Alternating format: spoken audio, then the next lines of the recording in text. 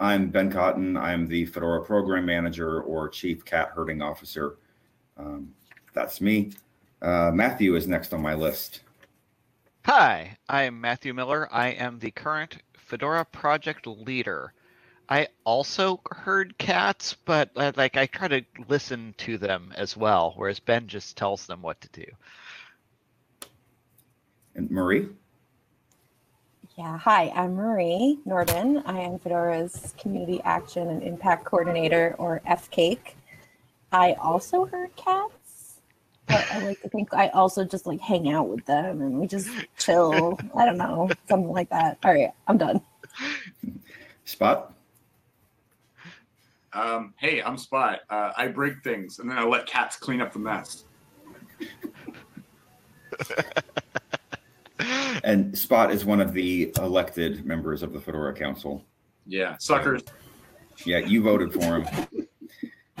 David. Hello, I am David Cantrell, and uh, I am elected to FESCO, but I'm also uh, in the capacity of the FESCO representative for the council. So that is why I'm here. So uh, that means I, I help with escalating FESCO issues to the council when we want the council's input or just keeping the council up to date on engineering kind of specifics. The majority of my time though is spent uh, following FESCO issues, commenting, not commenting, voting, things like that. Uh, I've been working on this stuff for a long time. Um, I'm not even gonna bother to list it, list it, but I will say I have a cat. I adopted an injured cat from the animal shelter. It has no tail.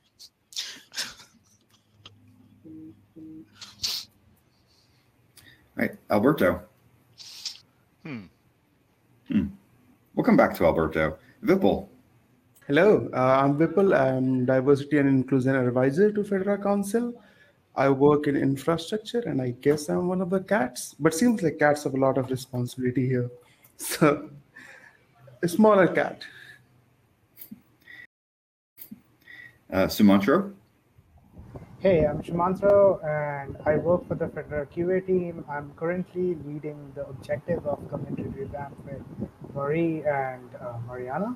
Um, I am probably one of those small cats in the whole Fedora ecosystem. Not necessarily noticed most of the times, but sometimes there. Okay. Akash.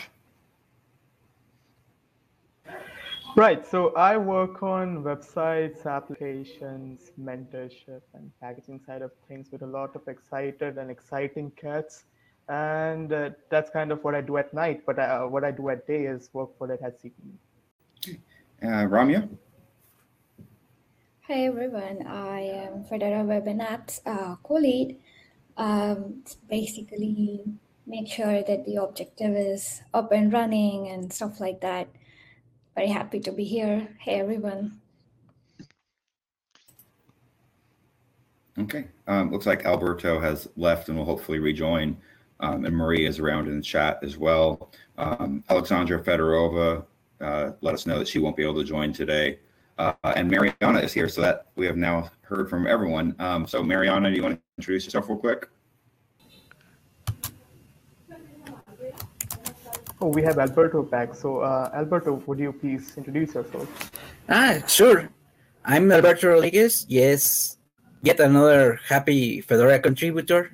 I'm so the, I'm also are the Mindshare representative um, council. So, hi everyone. So the Fedora Council is basically the governance and leadership body at the top of our org chart or actually the middle of our org chart, which is nice. We don't have a top to our org chart. It's a nicely, um, yeah, are you going to bring it up, Marie? Beautiful.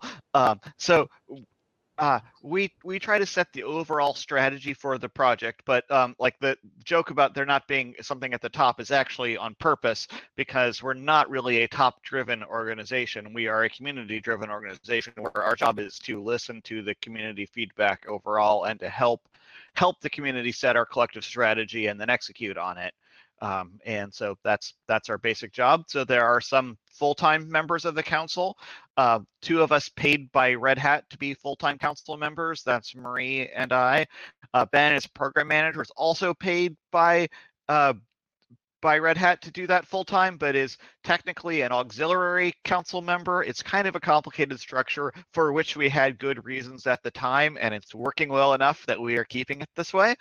Um, we also have two completely elected representatives, and then the two roles, the mind share and engineering, which are appointed by their uh, their respective bodies. So uh, that kind of keeps things to a balance. And because we decide everything by consensus, those two uh, elected positions have a pretty strong weight because if some one of the elected positions says, no, this should not happen, uh, that that's a block until we figure out a way to get more of the community on on board. Um, and it, it generally generally works out pretty well.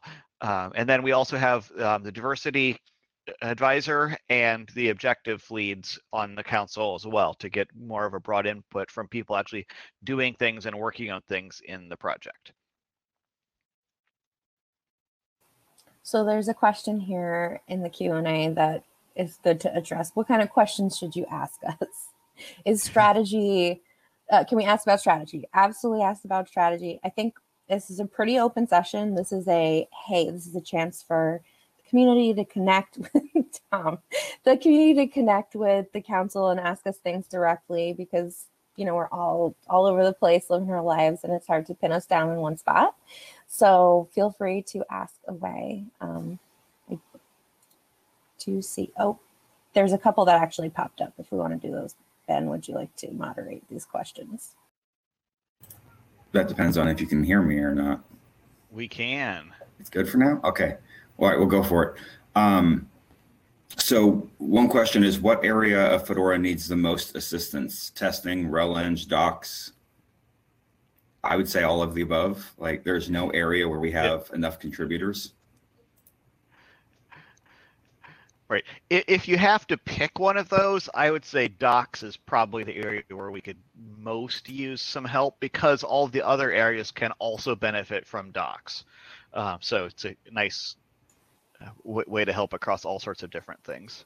I don't have a there's no hand raise in here, but I was going to say also other non-coding things. There's plenty of organizational project management, community outreach, design, writing. There's all kinds of stuff to do. And the way to figure out how to get involved in that is to either talk with the join folks or the Mindshare committee.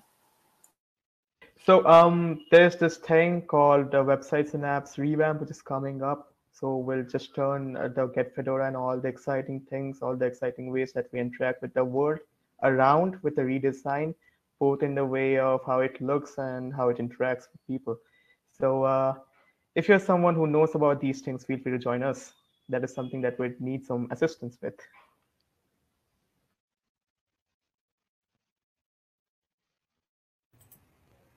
The next question is, what is our strategy with respect to Silverblue? Are we looking for that to be the new default download anytime soon? It has a lot of positive vibes in the external community outside of Fedora. So uh, I think it is likely to be the future. Um, like you said, it's got a lot of positive vibes. People are excited about it. It's cool technology. Um, but on the same time, some of the things that it solves, like making updates go cleanly. Like our updates have actually been working really nicely. People's upgrades are easy, and like we haven't gotten a lot of complaints in those areas. Um, so it's not like there's a fire. We don't have to move over urgently to fix a broken thing. But it is uh, interesting new technology. The alignment with the IoT and CoreOS is cool. Um, and I think it's probably where we want to go. But there are also a lot of hard things that aren't solved yet, like how can Chrome work, um, and so, some you know they're, kind of important. And I know that people are working on those things, um, but we don't have a lot of people working on them. Um, so it's something we can we can be careful with and wait until like we really feel like it's a good thing to to make be the default. Um, I think I think it will be a really useful thing, especially if we can like ship on more hardware. Um, it's really nice to QA a defined set of packages as this is the QA set and be able to tell people this is what this is what works um, and you can do all these other things but you're outside of what we support um, that's a useful thing for a lot of people and silverblue makes it easier to do that kind of thing um, so i think we'll probably see that in the future but i think it's probably a several years off thing rather than like a next year thing Follow up question is so the main blocker on Silverblue is Chrome support?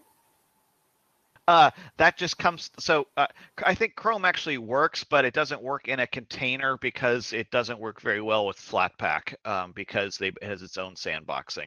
Uh, I think Spot probably knows more about that, but, um, may not want to actually talk about it for fear of unleashing demons from beyond. I mean, I think there's lots of cases that are out there that we know of where things don't work in the Silverblue style environment. Um, TeX Live is a great example of this. TeX Live assumes it can constantly write to slash USR, and it can't. and unraveling that is not on my to-do list at the moment. Uh, but if someone came to me with patches and said, "Hey, we fixed this," I would happily carry them. Um, I, I think it's a lot of identifying use cases that we expect to work in the base release and making sure that the package sets that are in Fedora align well with those use cases. And uh, I, I would love to see that work happen. Uh, I certainly think it's a interesting paradigm, uh, but I, I don't know. I think Matt's timeline is probably uh, the right one. Cool. Okay, we have another question. Are there any plans to introduce sandbox applications? And what about new cool wallpapers for Fedora 35? Two questions, I guess. Let's take the sandbox applications first.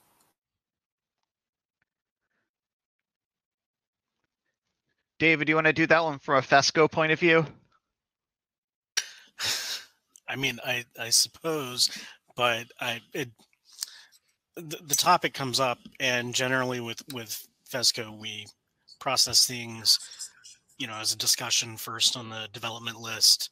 Uh, well, not always, but that's kind of the preferred path is to bring the discussion up there, and then that helps us gauge if there's interest, and then if there's interest, what do people want to focus on first? What do the users want to see first? And then we can talk about the the engineering details from there. So um, i mean i haven't really seen anything any specific requests but i just know that you know there's there's kind of uh, discussions around that and i would personally like to see us pursue something there. I don't have a good idea of what would be a, a good first attempt though. Um, sandboxing is hard. I mean, it, it's it's it's a great concept, but if you look at what Chromium has to do to sandbox and how often it breaks, like the code that handles the sandboxing logic inside of Chromium and Chrome is not easy to understand. yeah, it's it's and that that's a good example of one that is ideal that people are like, yeah, I liked the I like the idea of that being sandbox. Um, really, I think any any end user application that kind of fits in that category. So maybe a classic kind of like desktop style application where if you're not on um, Linux, I, I don't know what what else do people use. I heard there's other OSs, um, but uh, let's say you're you're installing you know Microsoft Word or something like that. Those are applications that on Windows and on Mac OS don't come with the OS, and we've always approached it differently in the world of Linux and, and even further back with just Unix, where everything is kind of unified together.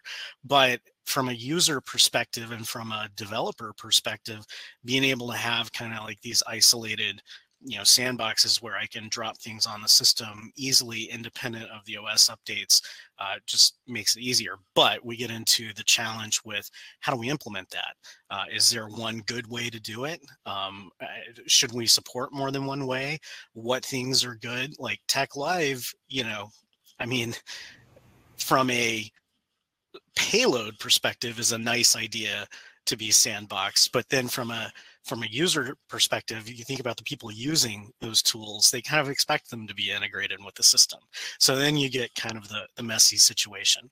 I've looked at some sandboxing, um, uh, I mean, just sort of broadly speaking, like sandboxing uh, systems implementations. I don't know what do you want to call it. Uh, we have Flatpak, which is really nice in uh, in Fedora, uh, and I like it. Uh, but I've also looked at uh, the AppImage stuff that kind of exists out in the wild. And that's a neat idea too. From a technical standpoint, it's not quite there. Like you, you can get one of these sort of bundles, and they're very, they're similar to like a, like a, a Mac OS bundle uh, where everything is crammed in in the in the directory, and it's kind of like this not quite a chrooted environment, but it knows how to find its own libraries and stuff like that. That's neat, except the AppImage stuff still needs some host requirements that make it a little tricky. So I've run into things that ran fine on, say, Fedora 32, and then on Fedora 33 stopped working. So those are little quirks that I think we'll have to deal with over time whatever makes it nicer for users, but also something that is easy for us to manage from an engineering standpoint and and not be so opaque and difficult for new contributors to use would be great. What that system would be, I don't know. Awesome. That was a really in-depth answer. Thank you for that. Um, and then uh, someone asked about wallpapers for F35. So the design team is working on a wallpaper right now. I'm actually involved in that. I did some pretty cool marbling photography. So we'll see if that ends up being a part of the mix. Um, but like most things in Fedora are extra fun things like the supplemental wallpapers were, you know, that was really one person's effort to make that happen and things changed in their life. So we recently haven't had the supplemental wallpaper um, thing that we do. But if someone wanted to step up and start running that again, we'd be more than happy to support that to happen. Um, okay, so let's see what else we got going here. I think we have a couple more in our Q&A. So I'm going to start at the top. Is there any possibility to provide the Fedora Flatpak runtime installed out of the box, not the portal only? It's almost a gigabyte in size. I'm going to defer that one to the Fedora Workstation Working Group. That's not a council level decision on that kind of thing. Like that's that's an engineering decision for that group. Gotcha. Okay. The next one is who is our biggest competitor and why? Now, that's a council level thing. Absolutely. Um, I would say uh, our biggest competitor is Microsoft Windows because that's where most of the systems are that are not running Fedora Linux yet. Um, followed by Mac OS because I think there's a neck and neck thing for uh, like software developers and kind of the actual specific target market of users that we might really do well in. Um, I think those are so those those are our two main competitors. Um, in the Linux operating system space, it's and we mostly compete with free Linux. We don't really compete with on the enterprise level. That's our that's our niche. Uh, Ubuntu is obviously the most popular Linux distribution for in in that space by you know quite a lot. And so um, if I, I think we're best to focus on commercial operating systems because there's plenty of room to grow without Linux infighting and um, a lot of things that you know benefit Ubuntu and benefit us like that that all we we both grow. Um, but you know, it, I wouldn't mind taking a couple points of share from from Ubuntu. That that'd be fine. Um, cool. Thanks for that answer, Matthew. Okay, so let's do that one's going to be a long one. We'll leave that one maybe till the end. Okay. What are Fedora's basic objectives? Why we all are all here and working on these projects and what do we want to achieve? I would love for someone other than me to answer this question.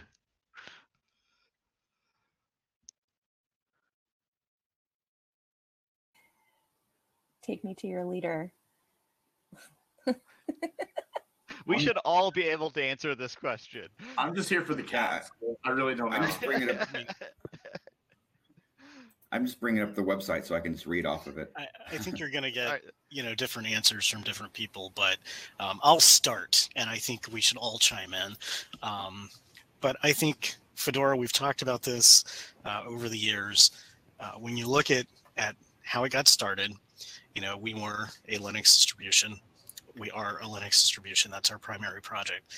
But you look at how it's evolved, and we're a community. We're an open source community. That's fundamental to what we do. We've been we've strongly adhered to that, and I think that Fedora as a community project can or should strive to provide a good workspace for other projects to start and grow under that Fedora umbrella. And that for from my point of view means providing the tools and the platform that enable that, um, making it attractive uh, to people for for projects to want to you know use our tools, our platforms, stuff like that, and then have sort of these policies and procedures and uh, all of the sort of mechanics around how you run an organization set up so that it's inviting and welcoming and things like that. Someone else go after me, please. I, I'm gonna plus I'll- one what I'll- you said. I- so- but, uh, but uh, if you go to the Fedora's mission and vision page, um, you will find that it says almost exactly what David just said in entirely different words. So I think uh, you, you've internalized that very well, or we've internalized, or we- we've documented that that thing that you're you're saying. Um, it, it's it's ve- very much that. Yeah, I think to a large degree, operating systems have become boring, and I think they should be because a boring operating system is a stable and reliable operating system, and that's what gives people the ability to do, uh, you know, the cool things that actually help people. Um, you know, building an operating system is not my end goal. It's a thing that we do that um, gives people the power to do useful things like make art or you know do science and you do research and things like that. Um, so you know i think david's answer really hits it on the nose and it's it's worth adding to that that uh, it's it's not so much that that the OS has become boring. It's that in a way we've we've kind of achieved that. Where you know 10, 20 years ago, if we were doing one of these conferences, the talks would be about, hey, when is my mouse going to work? When are you going to get my screen to work? All those things that we had to do, all that groundwork that had to be laid. We're at that point. So now we can do what we really want to do. Uh, you know, provide that platform, enable people to do what they really want to do. Cool. Well, I think that was pretty good. I think we can move to the next question. So, this one, I don't think we're gonna have time for everyone to uh, each council member to talk about both of these things, but I'm sure a few people will want to chime in. So, what is one thing each council member thinks is a highlight or a success and a challenge or failure in the last year? I can go first. Sure. Um, I'm going to say code of conduct. It was a real challenge for um, the people managing that. Um, we had more than two times the number we had in previous most of the previous year's average. So there was a lot to manage. And if you think about, there was a report on it. So there was over 20 uh, incidents or things that we were managing. So that's like one every other week kind of a thing or more. Sometimes they pop up all at once, and that was definitely a challenge. And uh, some of those things we face together as a council, but I think that the challenge behind that challenge is the pandemic. and, uh, you know, we've all been through so much. And just from my own personal life, I can, I'm just guessing everyone else is dealing with personal stuff too, beyond the variety of uh, dramas and different things that have actually happened in the open source world over the past four to six months. So there's been a lot of things, and that has been a huge challenge for sure. I'm going to say the success is our virtual events, right? So uh, I can just look right now, but I think we have almost 700 registrations. Um, and that is way more than we had last year. I think we had total like 490 or something. So we're already like we're growing. The virtual events have really brought Fedorans together and uh, allowed them to connect with the council, the Mindshare Committee, um, developers who are working on these things every day. So the, the quality of that engagement that any random contributor might have has actually been better than when we were doing something, when we were doing Flock, right? Because only a certain amount of people could go to Flock, and now it's accessible for so many more. So I'm going to say that's where I'm at, and I'll, I'll let someone else jump in. Uh, I think Lenovo shipping Fedora was a great success in my opinion, and hopefully more coming soon. So I was, I was really excited about that.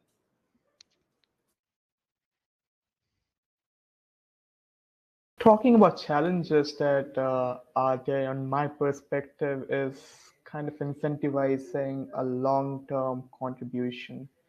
So um, it's kind of easy to explain what there is good about open source and why you should contribute to it but if it goes to articulating it in real terms when you're trying to put that coding that you learned in the school or design uh, that you learned in your college to actually doing something uh, for long term that is when uh, things kind of uh, come up front that uh, there can be challenges across maybe uh, time zones or uh, there might be some kind of abstractions you don't really know who to reach out to.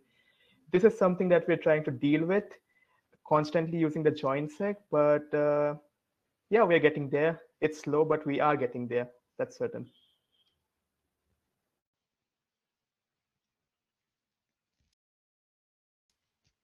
I, I would say a challenge that uh, was handled well uh, for us. It wasn't something that we had a direct control over, but definitely impacted us was the implosion of Freenode.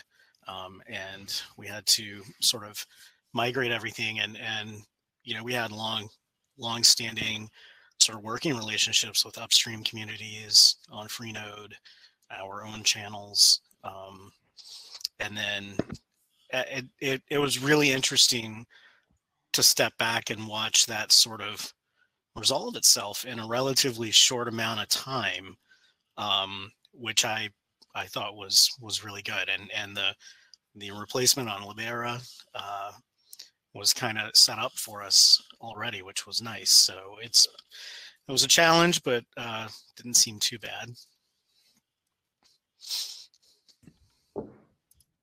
I want to call out the new logo as a, a long time coming. Happy to see it. Um, I know that's both a success and challenge for us as we move forward.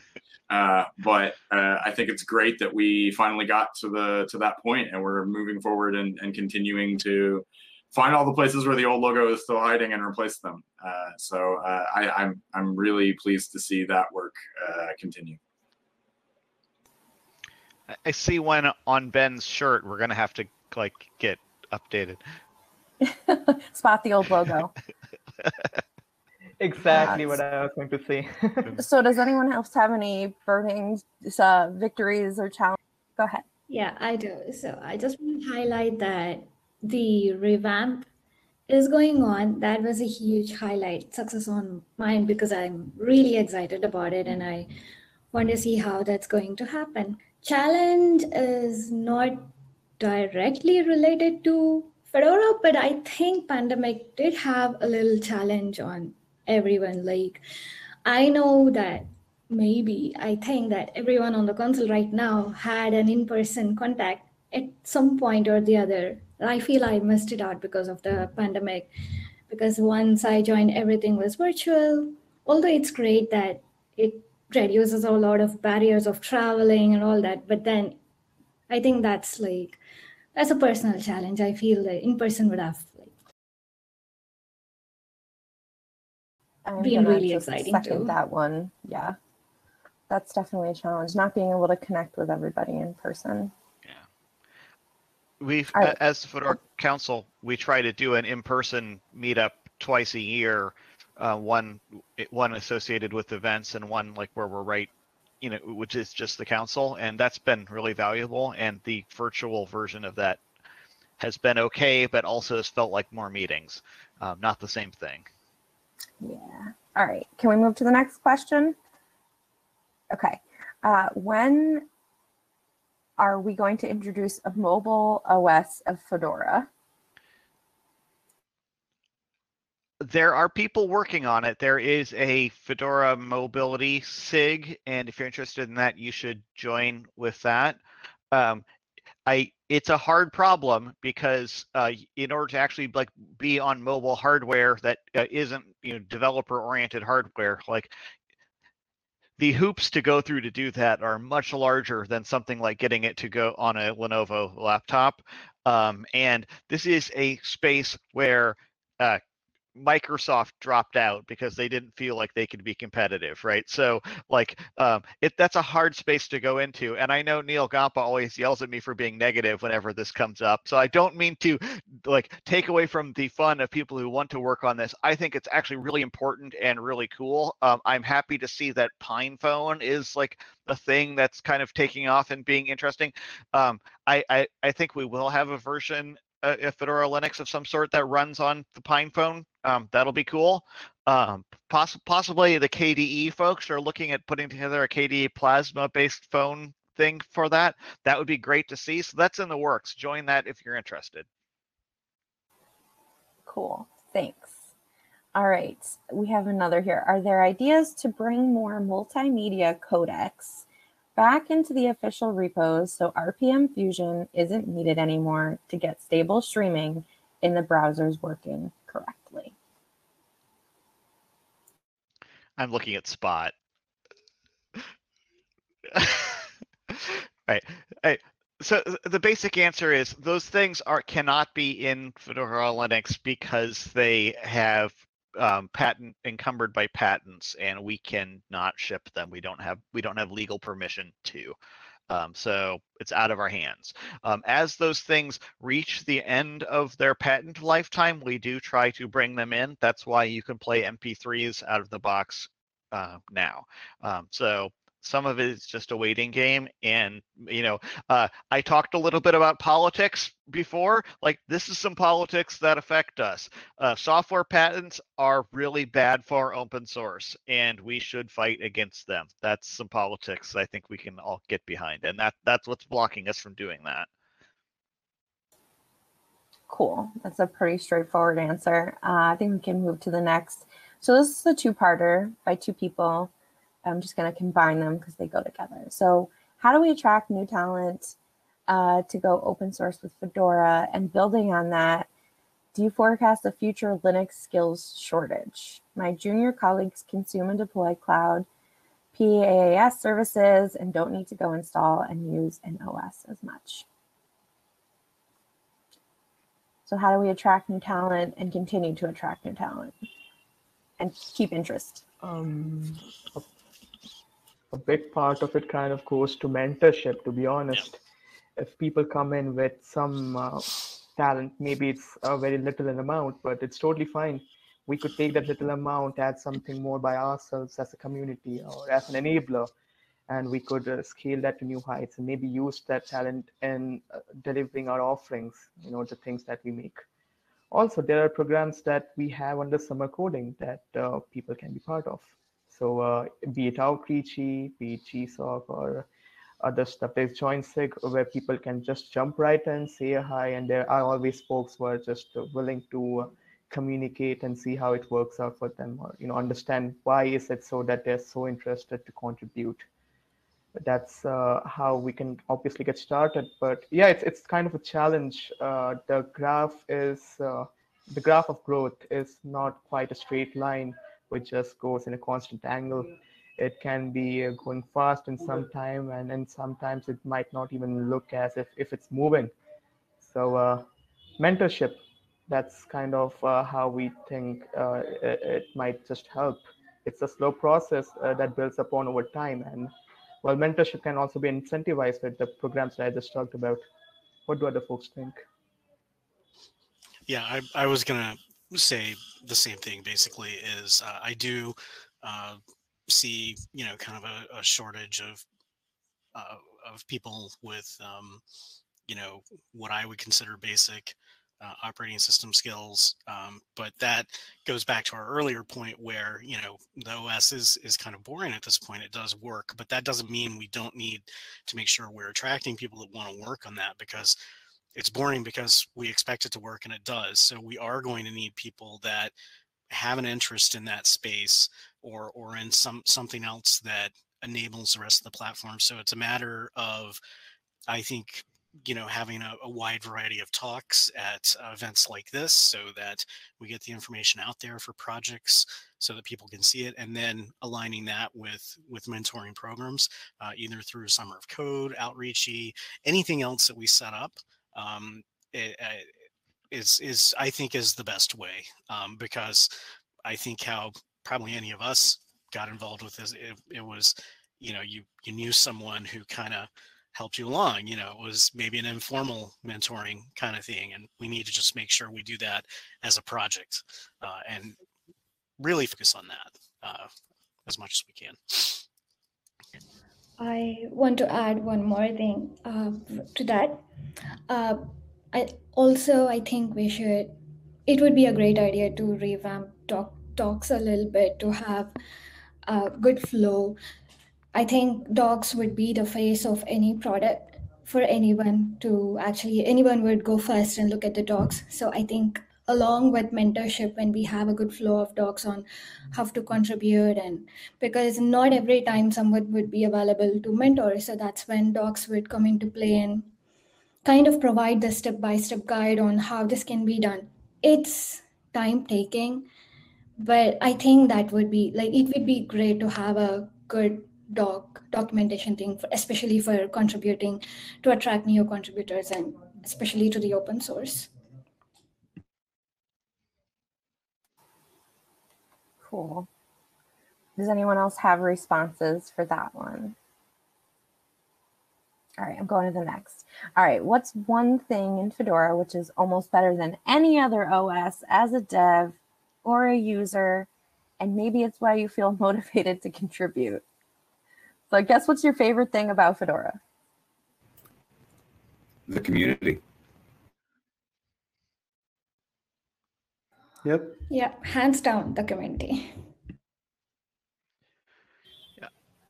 I- I think by our nature as a project of integration and with our motto of upstream first, where we try to make sure that there are things in Fedora that we share with everybody, it's hard to find something that is unique to Fedora Linux that you can't find in a different Linux distribution. And that's actually one of our strengths. Like that's one of the things that's great about us that we we don't try and make it this is just an exclusive thing. This is part of you know operating system for everybody, and that includes other Linux distributions as well. Uh, Well, to me, honestly, it kind of comes down to the first, uh, you know, the first pillar of uh, ours that we kind of make sure that we get things to folks as soon as it it comes out in a way that it's very polished and it can be just, you know, in a usable state. Take for example, GNOME 40. Uh, we were one of the first distributions to get it out, and uh, well, it's kind of out there that it's one of the most pol- uh, polished distributions which have been able to do it. So uh, kind of has to do with stable things while also making sure that we are not staying way back just for the stability. So that's kind of what drives me to contribute to Linux, uh, Fedora, and keep using it as my primary distribution.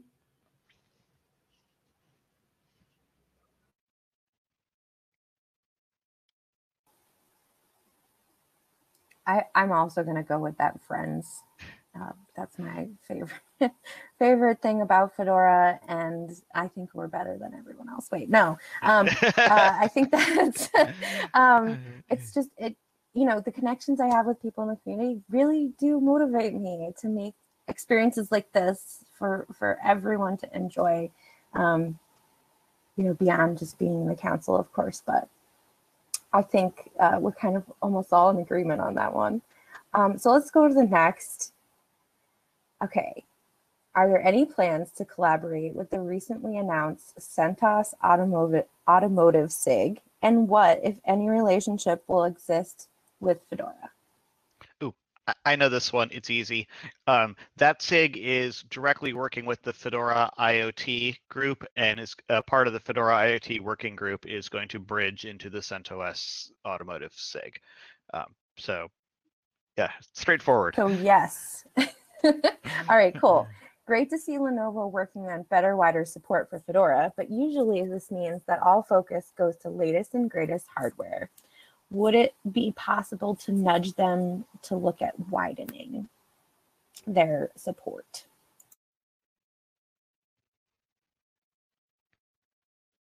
I could Uh, take just- this one too. Go, go ahead, David. Oh, I, I was just going to ask, does that mean like older systems, maybe some years back, or not just like I don't I don't understand the scope. But Yeah. Matthew, you you, I- you were going to answer it. Right. so- that's how I read that question too. And I, I think the answer is the mechanism by which Lenovo is able to make Linux support better doesn't work for that way.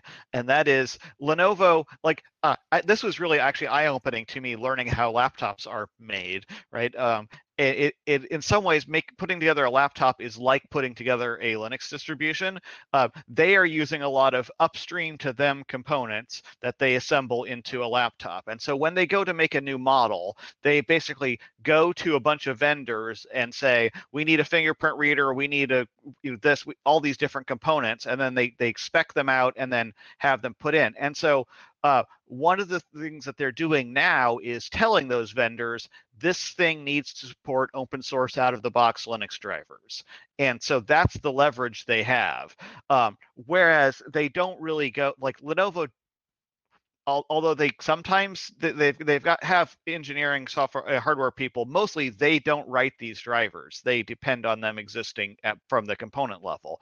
And so their influence is over what components they can put into it. And so for example the the fingerprint reader on the earlier x1 carbons there is some i guess there's now some reverse engineered work on it but lenovo isn't going to go back and enable those because it's just it's it's old hardware to them. They're they're going to basically say in the future all fingerprint readers have to work with Fedora Linux. Um, so yeah, that that's basically just the way that works. Um, on the other part of widening things, we definitely hope to have it available on more models, but COVID has just torpedoed the supply chain. So um, we're we're at this point fortunate that they're able to ship one model with Fedora Linux on it, and hopefully that will get better in the future once you know computer chips are available again. Turns out those are important for making a laptop. Cool. So I think we have time for one more question. It was that long when I mentioned. Okay, so building on the state of Fedora keynote, what does each council member think is next for Fedora? This could be a pie in the sky dream or something very concrete and targeted. So I will do mine first. Uh, I think the next big thing, especially for like Mindshare and for me to work on, is hybrid events. So uh, eventually, hopefully, we're going to be coming back to in person, at least partially, to to be able to see each other and connect, as we were talking about earlier. But we don't want to take away all of this amazing content um, from everyone. You know, we've moved and now we can't go back. so we need to have uh, hybrid events, and and what is that going to look like? Not quite sure yet. Um, so definitely looking to hear the community's feedback on good experiences and bad. And that's what I got.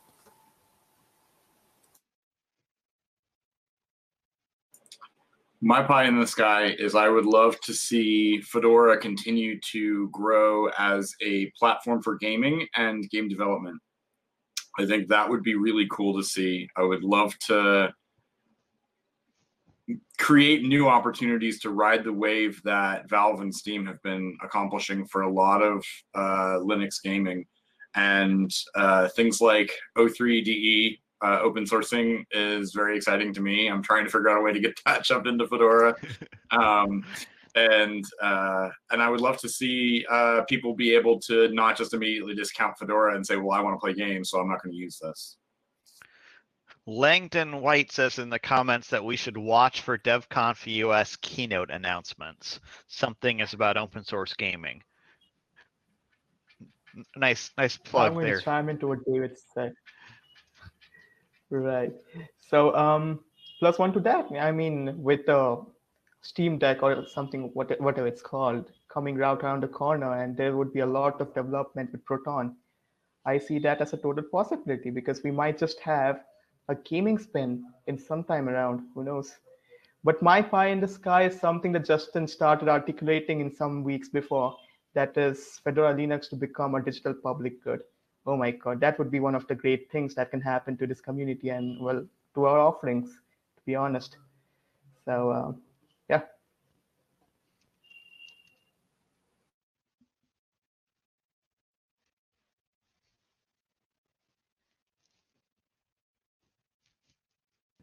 Okay, I'll go next. so yes, plus one to the uh, digital public good. Yes, I'm very excited about that. And also really looking forward to Fedora having more and more contributors, especially in the web development part, and also grow in the mentorship and the documentation guide. So, so I'm excited about all those. I also want to be part of it. So, so let's see how that goes.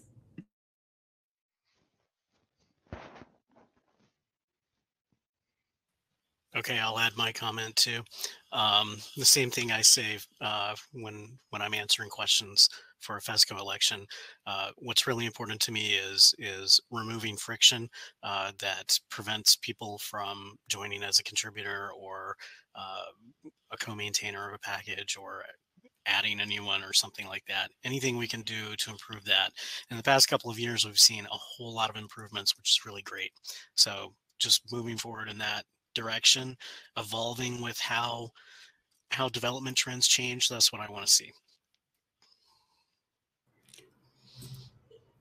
A more efficient Fedora join process for better contributor sustainability. That would be a great way, great thing to look forward to, and more companies shipping Fedora by default. If we can order more pie in the sky, if I can order the order Dell XPS with Fedora, that would be great. I would like.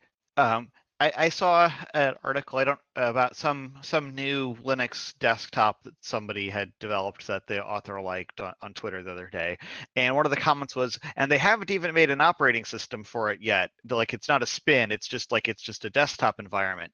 And what I would like is for those projects to never feel like, oh, I need to go make an OS to go underneath it. Like that's that's what this is like that should be the boring thing that we're taking care of as a project. So if you've got some sort of new i would like to see new desktop environments whatever new software uh, new spins, new new things people want to do. Next time somebody goes to make a thing like CoreOS, I want them to feel like doing it in Fedora is the easiest way to get what they want, and uh, make that uh, easy and welcoming for those kind of projects, so that um, we actually are a home for this kind of innovation.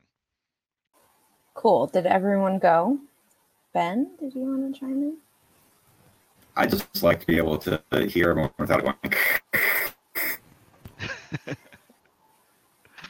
I gotcha. Um, well, I think we all went around on that one.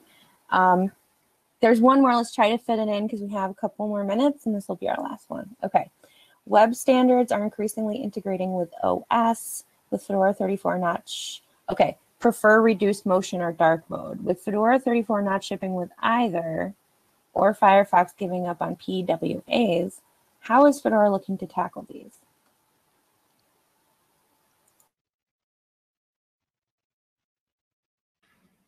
That's actually a good point. You know, with applications who are integrating how websites look like with how their operating system looks like, even if it's dark mode in the operating system, lo and behold, you'll open up a website and it's this dark as well. So you don't have to go eyes blaring on a screen just because you shifted windows. So um, uh, something that I would like to know about as well. The last one's uh, stumping us, huh?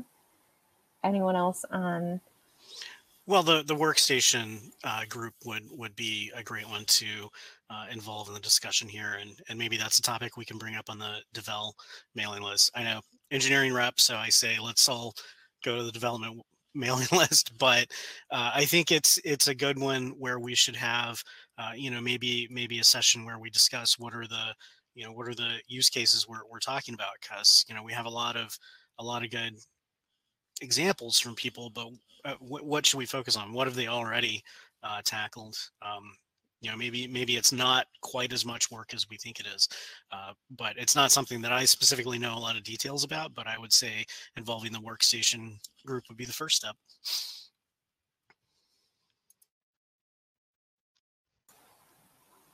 Uh, assuming in-person flock happens next year, would it be in the EU or the US? So we have uh, a, a contract, a down payment still in place for Detroit flock, and uh, that was not something we could take back. So the idea is that we will be in Detroit in 2022 if it's in person. That's the idea. So we might have to switch things up. I know there's a schedule back and forth with EU versus NA. So I don't know. I gotta check in with some folks on how we're gonna make that okay for everybody. I think there was a reason, like there's a different conference, right, that we're trying to avoid or something. Uh, it yes, Red Hat Engineering has asked that we be in Europe in the same year that the uh, Red Hat Summit is in Boston, so that they're not doing two because the other Red Hat Summit is in San Francisco, which is expensive for travel for Red Hat's travel budget. So we could get more Red Hat engineering there if we do that, and it's generally beneficial to the project if we have as much Red Hat engineering there as we can. So Cool. Uh, should we try to stick a few more questions in? How do you start a SIG? Well, the first thing you've got to do is you've got to get the SIG declaration stick. And you've got to hold the stick and you say, I declare SIG. That's how yeah. I don't know how we do it anymore. Yeah. That was the It- long it- it's a very lightweight process. Um, it ba- basically uh, you just find some people who are interested and declare that you have a SIG. Um, in order for it to actually be a real thing, like having regular meetings is important, and you want to have like regular meetings and documentation and some basic like contact procedures, uh, channels, and then make sure those are active.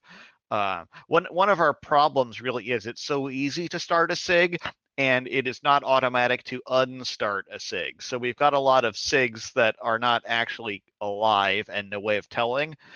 Um, that's one of the things we're actually working on um, and have don't have a good solution for yet. But starting one very easy. I see we're losing council members. I think some of them might be heading to other sessions, and we're very close to the end of our time. Is there anyone who could answer this question? What is Fedora's relationship with oVirt?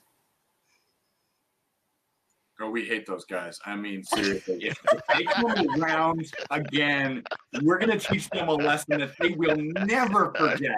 Never, ever forget.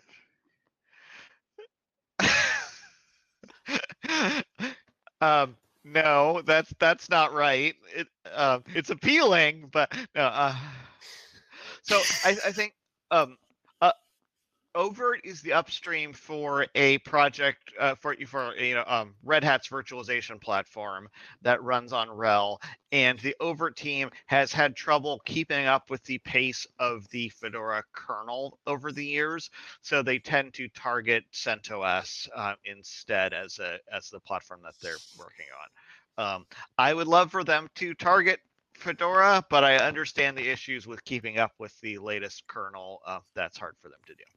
Well, it's not just the kernel, isn't it? Uh, Java. Actually, Is the majority of it is Java, and uh, Okay, some of it is kernel as well. Even though they kind of advertise that Fedora is supported, it is still in trouble waters. Yeah, what is Java? Is our question. That is very valid. Thank you, Miro. yeah, so you know, we right. uh, we just hope that they will rewrite oVirt in Python, and then you know we can just uh, include it in Fedora. Let's no on to that. Yeah. All right. So I think that there were might have been a couple of questions that we missed. They were either going to be a super long conversation or they might have come in after. I know So the answers do to them. It, the Okay. answers are yes, yes, maybe, and um, ask Ben Cotton. Mo- mostly the last one. The last one always works. yeah. Just kidding. Just kidding. Um, but I was going to say, if you do have more questions, the council has uh, IRC meetings, and we also have a monthly video call that you can be a part of, and we put those recordings up on YouTube. We usually have um, a guest who comes and talks about the latest and greatest or some kind of project that's happening within Fedora. So we have those means. We also have a mailing list. Oh no, we don't. We have a discussions page, and we have um, a Pagure repo. So if you have more questions for us, want to talk about these types of things, we're open to that. So feel free to join us in one of those places. And I'm on to the next session. I'll see y'all over there. Thank you, everyone. Bye, See everybody. you, folks.